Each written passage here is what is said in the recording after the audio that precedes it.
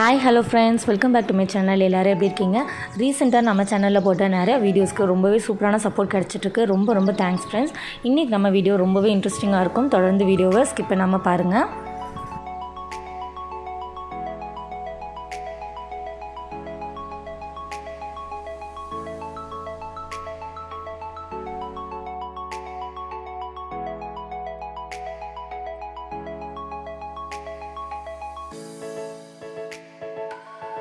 இன்னும் நீங்கள் நம்ம சேனலை சப்ஸ்கிரைப் பண்ணாமல் பார்க்குறீங்கன்னா கீழே தெரிற red colour subscribe button press பண்ணிக்கோங்க. பக்கத்தில் உள்ள பெல் நோட்டிஃபை கிளிக் பண்ணி அதில் ஆன்லைன் செலக்ட் பண்ணிக்கோங்க.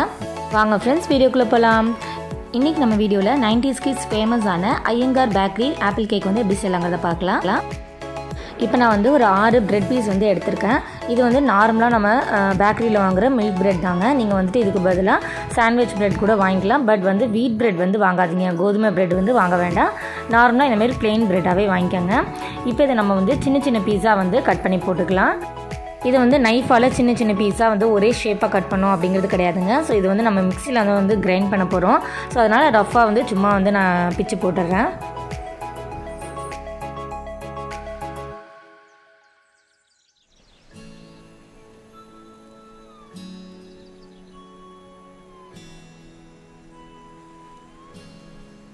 இப்போ இந்த ப்ரெட் பீசஸ்லாம் நான் வந்து மிக்ஸி ஜாரில் வந்து ஆட் பண்ணிக்கிறேன்.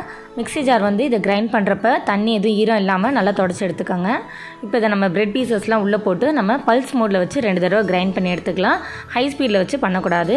அதாவது நம்மளுக்கு ப்ரெட் க்ரம்ஸ் எப்படி இருக்கும்? அந்த மாதிரி நம்மளுக்கு வந்து பல்ஸ் மோடில் வச்சா இந்த மாதிரி கிடைக்கும். பாருங்கள் இந்த மாதிரி நல்லா பவுட்ராக தூளாக வந்து வரணும். ஸோ தட் நம்ம அப்போ தான் வந்து நம்ம செய்கிறதுக்கு வந்து நல்லா ஒரே ஷேப்பாக வந்து கிடைக்கும்.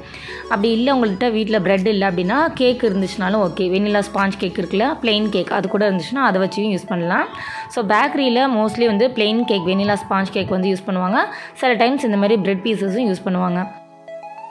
இப்போ அடுப்பில் ஒரு பேன் வச்சுக்கலாம். ஒரு கால் டீஸ்பூன் அளவுக்கு ஒயிட் சுகர் வந்து ஆட் பண்ணிக்கிறேன். இப்போ இந்த சுகர் வந்து மூழ்கிற அளவுக்கு கொஞ்சமாக வந்து தண்ணி ஆட் பண்ணிக்கலாம். இப்போ நம்ம ரெடி பண்ணுற இந்த சுகர் சிரப் வந்துட்டு ஒரு கம்பி பதம் வர அளவுக்கு நம்ம வந்து ரெடி பண்ண போகிறோம் ஸோ அடுப்பை மீடியம் ஃப்ளேம்லேயே வச்சுட்டு கைவிடாமல் வந்து மிக்ஸ் பண்ணி கொடுத்துட்டே இருங்க. ஏன்னா நம்ம வந்து சுகர் வந்து கம்மியான அமௌண்ட்டில் தான் போட்டிருக்கோம். ஸோ தட் பேனில் வந்து ஸ்டிக் ஆக வாய்ப்பு இருக்குது ஸோ அதனால் கைவிடாமல் லைட்டாக மிக்ஸ் கொடுத்துட்டே இருங்க. ஒரு கம்பி பதம் வந்தோன்னே நம்ம வந்து செக் பண்ணிவிட்டு நெக்ஸ்ட்டு பொருளை வந்து ஆட் பண்ணிக்கலாம்.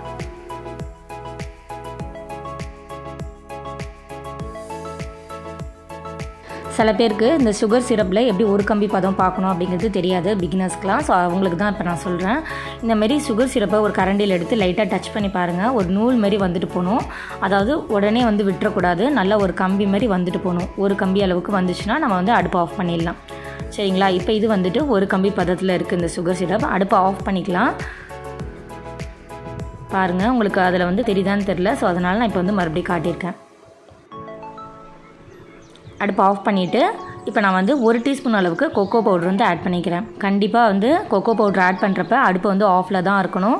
சிம்லையும் இருக்கக்கூடாது ஃபுல்லாகவும் இருக்கக்கூடாது. கண்டிப்பாக வந்து அடுப்பு ஆஃப் பண்ணிவிடுங்க ஏன்னா கொக்கோ பவுடர் வந்து ஃப்ளேமில் இருக்கிறப்ப கண்டிப்பாக வந்து ஒரு ஸ்மெல் வரும். ஸோ அதனால் அடுப்பு ஆஃப் பண்ணிவிட்டு ரொம்ப நேரம் வெயிட் பண்ணும் கிடையாது. உடனே வந்து நீங்கள் அடுப்பு ஆஃப் பண்ண உடனே நீங்கள் வந்து கொக்கோ பவுடர் வந்து ஆட் பண்ணிக்கலாம். நான் வந்துட்டு இன்றைக்கி ஒரு ஸ்பூன் அளவுக்கு கொக்கோ பவுடர் வந்து ஆட் பண்ணியிருக்கேன். கொக்கோ பவுடர் ஆட் பண்ணிவிட்டு ரொம்ப வேகமாக வந்து மிக்ஸ் கொடுக்காம லைட்டாக ஒரு மிக்ஸ் கொடுத்துக்கோங்க. இப்போ நான் வந்து ரெண்டு டீஸ்பூன் அளவுக்கு மில்க் பவுடர் வந்து ஆட் பண்ணியிருக்கேன் பால் பவுட்ரு பால் பவுடரும் இந்த கொக்கோ பவுடரும் சேர்த்து நல்லா மிக்ஸ் பண்ணிவிடுங்க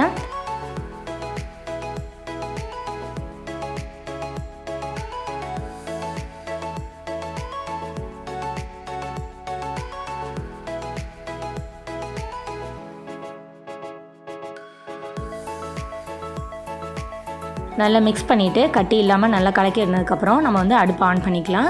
அடுப்பு ஆன் பண்ணி லோ ஃப்ளேமில் வச்சுக்கணும் லோ ஃப்ளேமில் வச்சுட்டு இப்போ நம்ம வந்து லைட்டாக மிக்ஸ் கொடுத்துக்கலாம். கண்டிப்பாக அடுப்பு வந்து லோ ஃப்ளேமில் தாங்க இருக்கணும். லைட்டாக அந்தமாரி மாதிரி வரும். ஒரு கொதி வந்து ஒரு பபுள்ஸ் வரும்ல. இந்த டைமில் நம்ம கிரைண்ட் பண்ணி வச்சுருக்க பிரெட் க்ரம்ஸ் வந்து ஆட் பண்ணிக்கலாம். அடுப்பு வந்து நல்லா லோ ஃப்ளேம்லேயே இருக்கட்டும். இன்றைக்கி நம்ம அரைச்ச அந்த பிரெட் க்ரம்ஸ் வந்து ஒரு கப் அளவுக்கு இருக்குங்க. நான் எடுத்திருக்க சுகர் வந்துட்டு கால் கப் அளவு இருக்குது இப்போ இதை வந்து நல்லா மிக்ஸ் பண்ணிடலாம்.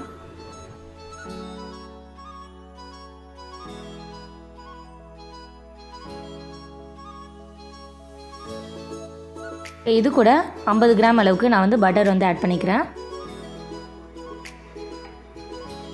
பட்டர் சேர்த்துட்டு நல்லா மிக்ஸ் பண்ணிவிடுங்க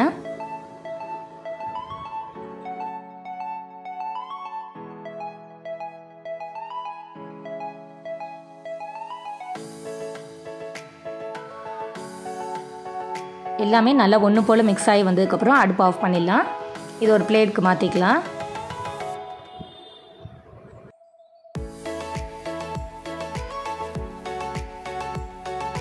இப்போ இதை நம்ம ஒரு பிளேட்க்கு மாற்றியாச்சு கை பொறுக்கிற அளவுக்கு சூடு இருந்துச்சுன்னா நம்ம இப்போ அதை வந்து சின்ன சின்ன பால்ஸாக வந்து உருட்டிக்கலாம். உங்களுக்கு வேணும்னா கையில் வந்து கொஞ்சமாக வந்து நெய் வந்து அப்ளை பண்ணிக்கோங்க. நெய் அப்ளை பண்ணிட்டு சின்ன சின்ன பால்ஸாக வந்து உருட்டிக்கலாம்.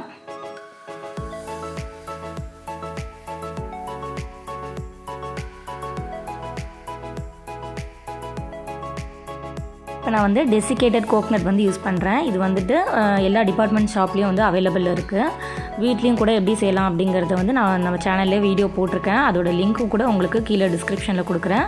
வேங்கினவங்க செக் பண்ணிக்கோங்க. இப்போ நம்ம ரவுண்ட் ஷேப்பில் எடுத்து வச்சுருக்கேன் இந்த ஆப்பிள் கேக்கை வந்து மேலே டிஸ்கேட்டட் கோக்னட் மேலே நம்ம வந்து ரோல் பண்ணி எடுத்துக்கலாம்.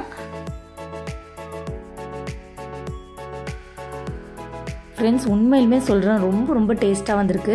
ரொம்பவே சாஃப்டாகவும் ரொம்பவே செம்ம டேஸ்ட்டாக இருக்குது கண்டிப்பாக நீங்கள் வந்து ட்ரை பண்ணி பார்க்கணும். ஐயங்கார் பேக்கரியில் கிடைக்கிற அதே ஆப்பிள் கேக் மேலே வந்து நம்ம ஐசிங் கிளேஸ் வந்து பண்ணல. பண்ணாமல் நம்ம டிஸ்கேட் கோக்னட் வந்து டாப்பிங்ஸ் பண்ணி வந்து பண்ணியிருக்கோம். உங்களுக்கு ரெண்டு ரெண்டு டைப்லேயும் வந்து அவைலபிள் இருக்கும் பேக்கரியில் நார்மலாக இந்த மாதிரியும் இருக்கும். கீழே வந்து அந்த கப் கேப் பேப்பர் இருக்குல்லையா அதில் வச்சு கொடுப்பாங்க. அப்படி இல்லாட்டி மேலே ஐசிங் கிளேஸ் வந்து கலர் கிளேஸ் போட்டும் வந்து சேல்ஸ் பண்ணுவாங்க. ரெண்டுமே வந்து ரொம்ப டேஸ்ட்டாக இருக்கும்.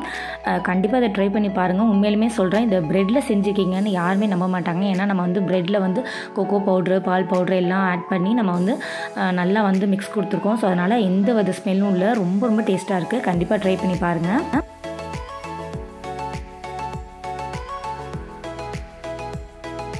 கண்டிப்பாக ஒரு தடவை ட்ரை பண்ணி பார்த்துட்டு எப்படி இருக்குன்னு உங்களோட ஃபீட்பேக்ஸை என் கூட கமெண்ட் செக்ஷனில் சொல்லுங்கள் அது மட்டும் இல்லாமல் நீங்கள் கொடுக்குற ஒவ்வொரு லைக்ஸும் எனக்கு ரொம்பவே மோட்டிவேஷனாக இருக்கும் நெக்ஸ்ட் வீடியோ பண்ணுறதுக்கு ஸோ தட் இந்த வீடியோ உங்களுக்கு உண்மையிலே பிடிச்சிருக்கு அப்படின்னா மறக்காமல் லைக் பண்ணி கமெண்ட் பண்ணுங்கள் உங்கள் ஃப்ரெண்ட்ஸ் நிறையா பேருக்கு ஷேர் பண்ணுங்கள் நம்ம சேனலில் நிறையா நியூ வீடியோஸ் போட்டிருக்கோம். பாருங்கள் உங்களுக்கு கண்டிப்பாக யூஸ்ஃபுல்லாக இருக்கும். பிடிச்சிருந்துச்சுன்னா அந்த வீடியோக்கும் லைக் பண்ணுங்கள் கமெண்ட் பண்ணுங்கள் இத்தனை நாளாக வீக்லி ஒன்ஸ் வந்து வீடியோ போட்டுட்டு இருந்தேன் இனிமேல் வந்து கன்சிஸ்டன்சி ரொம்ப முக்கியம் அப்படிங்கிறனால வீக்லி ட்வைஸ் வந்து வீடியோ போடலாம் அப்படின்ட்டு இருக்கேன் கண்டிப்பாக நீ உங்களோட சப்போர்ட் வந்து எதிர்பார்க்குறேன். ஸோ தட் நம்ம சேனலை நீங்கள் இன்னும் சப்ஸ்கிரைப் பண்ணலன்னா மறக்காமல் சப்ஸ்கிரைப் பண்ணி பெல்லைக்கான் கிளிக் பண்ணி அதில் ஆல்னு செலக்ட் பண்ணிக்கோங்க. அப்போ தான் நான் போடுற வீடியோஸ் எல்லாமே உங்களுக்கு உடனே நோட்டிஃபிகேஷன்ஸ் வரும். Thank you friends bye